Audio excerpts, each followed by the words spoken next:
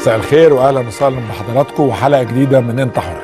صناعة النجوم ليست من الأمور السهلة وتحتاج لكثير من المجهود والإمكانات أيضا.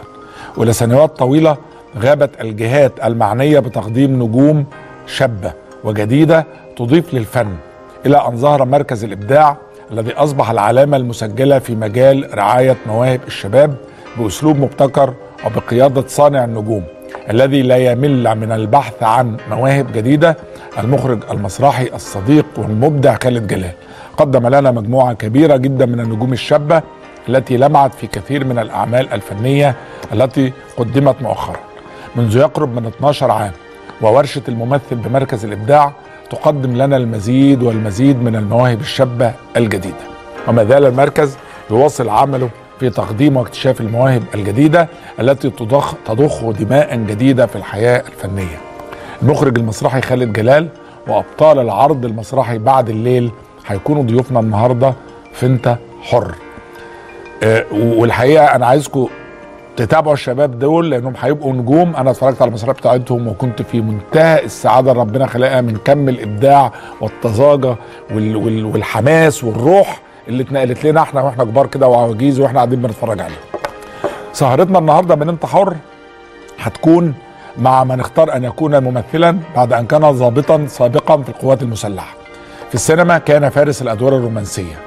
هو الضيف آه النجم والصديق الأستاذ محمود أبيل اللي هنتكلم معاه في موضوعات لها علاقة بالفن وأيضا لها علاقة بالسياسة لأنه أصبح يعني ناشط سياسي كبير في آخر أربع خمس سنين ثم دوره كسفير اليونيسيف للنوايا الحسنة في شمال أفريقيا والشرق الأوسط. هناك من الكتاب الحكائين العظماء من هؤلاء الكتاب الحكائين العظماء نجيب محفوظ في مصر وجبرييل جارسيا ماركيز.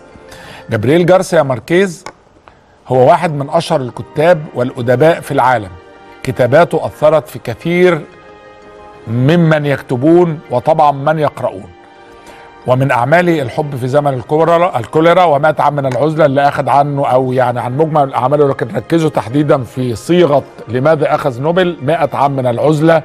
هذا الأديب الكولومبي العالمي الراحل جابرييل جارسيا ماركيز كان بطل كتاب الناقد الفني عصام زكريا الذي قدم كتابا مهما عن سينما ماركيز.